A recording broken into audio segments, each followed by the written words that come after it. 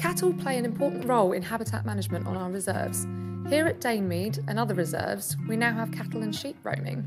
Their grazing will promote diversity in wildflower and grass species, and their dung creates little microhabitats for fungi and insects to thrive. If you see livestock on our reserves, we ask that you keep a 10 metre distance and move calmly, keeping children close and dogs on leads at all times. In addition, we ask that you're extra careful to close gates behind you as you leave. Check our nature reserves page before you visit to prepare yourself in advance, or visit our blog on grazing to learn more.